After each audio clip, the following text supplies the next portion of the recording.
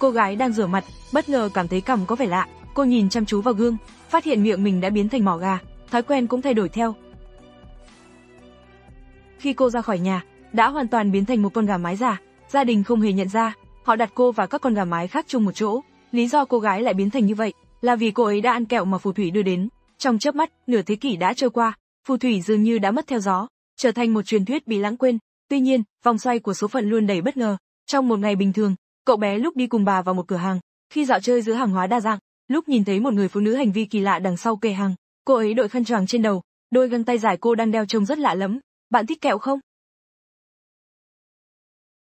Lúc bị con rắn độc trên tay đối phương làm cho đứng im như đinh, may mắn là lúc quan trọng, bà ngoại đã gọi anh ta. Khi tỉnh lại, người phụ nữ đó đã biến mất trong không. Sau khi về nhà, lúc đã kể cho bà ngoại nghe về sự việc này, bà ngoại tin tưởng tuyệt đối và khuôn mặt càng ngày càng trở nên u ám. Bà nhận ra người phụ nữ đó chính là phù thủy trong truyền thuyết, một khi bị họ nhắm đến, rất khó thoát khỏi. Vì sự an toàn, bà ngoại liên lạc với người thân ở xa, đưa lúc chuyển đến khách sạn ở Alabama trong đêm. Chỉ mới hai người bước vào, một nhóm phụ nữ lạ mặt cũng đến ở tại đây. Họ cư xử lịch thiệp, bản thân đều là hàng hiệu, dù trang điểm cẩn thận đến đâu, cũng không thể che giấu được vết dạn đáng sợ ở góc miệng, chính là những phù thủy nổi tiếng xấu xa. Đêm buông xuống, bà ngoại kể cho lúc về đặc điểm của phù thủy, miệng méo đến tai, móng sắc bén, đầu chọc, khứu giác nhạy bén, ghét trẻ con và những thứ tương tự, hoàn toàn không biết, cuộc trò chuyện của hai người đã bị mèo đen của phù thủy nghe thấy. Ngày hôm sau, lúc lẻn vào phòng tiệc vắng người, chuẩn bị huấn luyện thú cưng của mình, con mèo trắng ở đây, không ngờ đã không lâu, đèn sáng bất thình lình, những phù thủy giả mạo đột nhiên xông vào, chờ khi người quản lý khách sạn rời đi, phù thủy tìm người lột bỏ bộ trang phục giả mạo, chuẩn bị tổ chức cuộc họp ở đây. Phù thủy cấp cao dẫn đầu đã tháo bỏ bao tay dài tới nửa mét, lộ ra bàn tay kỳ lạ chỉ có ba ngón của cô ấy. Sau đó cởi giày cao gót, thả lỏng chân chỉ có một ngón giữa. Dưới mệnh lệnh của cô ấy, tất cả phù thủy đã tháo bỏ bộ tóc giả trên đầu, đầu bóng loáng lộ ra. Lúc sợ run cầm cập, nữ phù thủy cấp cao chỉ trích cấp dưới vì hiệu suất gần đây quá kém, trẻ con ngày càng nhiều, làm cô ấy mất hết khẩu phần. Ban đầu phù thủy ghét trẻ con đến mức cực độ, bởi vì đối với họ, những đứa trẻ con sẽ phát ra một mùi khó chịu khó thể chịu đựng được. Vì vậy phù thủy luôn trốn trong bóng tối, cố gắng tiêu diệt tất cả trẻ con. Đúng lúc cô ấy đang mắng nhiệt tình, một phù thủy bất ngờ đứng lên, nghi ngờ nữ phù thủy cấp cao, kế hoạch tiêu diệt tất cả trẻ con có phải không thực tế?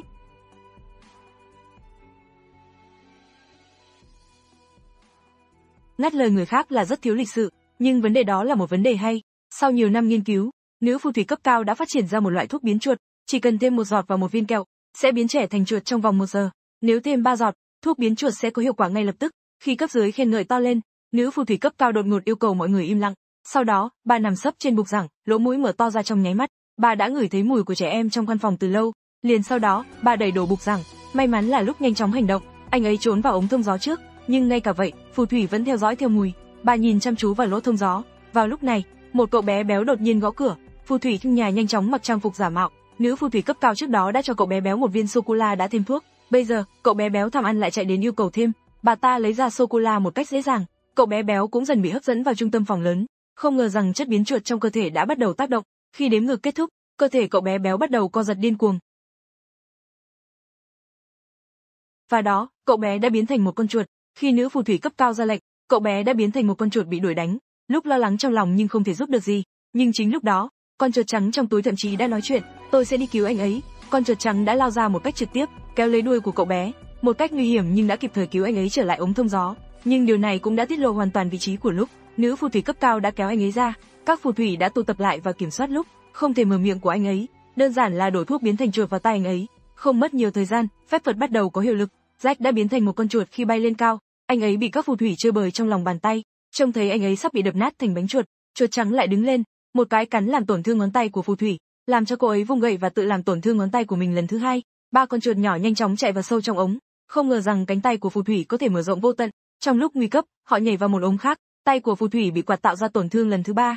Lúc và nhóm đã thoát chết, sau một cuộc trò chuyện, họ biết được, ban đầu, chuột trắng trước khi bị phù thủy biến thành chuột, cũng là một đứa trẻ con người, tên là Mary. Ba người chuẩn bị tìm bà nội để thảo luận giải pháp, nhưng ngay khi xuất hiện, đã bị người hầu phụ làm vệ sinh coi là côn trùng và đuổi đi. May mắn là bà ngoại vừa mở cửa, ba người mới thoát chết. Lúc giải thích một cách rõ ràng để bà ngoại hiểu tình hình hiện tại, bà ngoại có nghiên cứu về thuốc phẩm.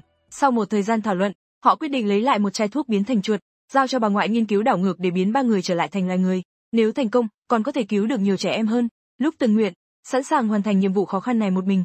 Khi phù thủy yêu ngoài tham dự bữa tiệc tối, lúc trườn vào đôi tất len mà bà nội đan, dọc theo ban công đến phòng của phù thủy, vừa lấy được thuốc, chuẩn bị quay trở lại, phù thủy được ngột trở về. Ban đầu bữa tiệc tối không cho mang thú cưng, phù thủy chỉ có thể mang mèo trở về. lúc vội vàng trốn tránh, muốn nhanh chóng rời khỏi khi phù thủy không để ý, ngay khi anh ấy trườn vào tất và bà ngoại kéo lên. Bà ngoại tìm một lý do bất kỳ, nói rằng lúc đan tất, bà không cẩn thận làm rơi, phù thủy không tin một dấu câu nào về điều này, lúc sắp bị lộ rồi, lúc này, tiếng gõ cửa của quản lý Lễ Tân đã cứu lấy cuộc sống của anh ta, thuốc diệt chuột cuối cùng cũng đã có trong tay, bà ngoại lấy ra loại thuốc từ hầm rượu cũ nhất mà bà giữ kỹ, bắt đầu pha chế thuốc giải độc, tuy nhiên, khi dung dịch biến thành màu đen, thuốc giải độc đã thất bại trong quá trình nghiên cứu, cuối cùng, chính là bà ấy kém kinh nghiệm, không thể sánh kịp với phù thủy sống hàng nghìn năm, thuốc biến diệt chuột mà đã mất 50 năm để nghiên cứu, lúc nhanh chóng an ủi bà ngoại, chỉ cần có thể ở bên cạnh bà ấy, dù chỉ là một con chuột cũng không sao, nhưng để ngăn chặn phù thủy gây hại cho nhiều trẻ em hơn, lúc nghĩ ra một kế hoạch, đó là đặt thuốc vào thức ăn của phù thủy, để họ tự hại mình, lúc kéo theo nửa chai thuốc đến nhà bếp, đổ vào nồi canh đậu mà phù thủy đã chuẩn bị. Giờ ăn trưa, phù thủy ngồi gọn gàng trước bàn ăn, bắt đầu thưởng thức súp đậu này, để xác nhận hiệu quả, bà ngoại cũng bước vào nhà hàng giả vờ ăn uống. Đột nhiên, phù thủy cấp cao vô tình nhìn thấy bà ngoại, ngay lập tức nhận ra, họ đã gặp nhau cách đây nửa thế kỷ, cô gái đã bị biến thành con gà, chính là bạn thân của bà ngoại. Phù thủy cấp cao đặt xuống súp và đến đe bà ngoại để đe dọa. Lúc đó, một phù thủy phía sau bắt đầu co giật đột ngột, chỉ trong một giây, cô biến thành một con chuột xấu xí. Chẳng bao lâu, những phù thủy uống súp đậu, một người sau một người biến thành chuột, hiện trường hỗn loạn. Bà ngoại thấy kế hoạch thành công, nhanh chóng rời đi. Ngay sau đó, bà đến phòng của phù thủy cấp cao, chuẩn bị tiêu hủy tất cả thuốc biến thành chuột biến đổi. Phù thủy cấp cao trực tiếp đuổi theo, cô là duy nhất không uống xúc động Đối mặt với phù thủy tức giận và thất bại, bà ngoại không sợ hãi, bởi vì bộ ba chuột đã sắp xếp xong bẫy. Khi một tiếng lệnh được ra, cái bẫy chuột ngay lập tức kẹp chặt ngón chân của phù thủy. Nhân cơ hội này, lúc ôm một chai thuốc biến chuột, bật lên nhảy, ném chính xác lọ thuốc vào miệng phù thủy, nhìn vào cái lọ trống trơn phía trước, phù thủy biết mọi thứ đã quá muộn, và đến đây, phù thủy cấp cao sở hữu sức mạnh biến thành một con chuột đen to lớn.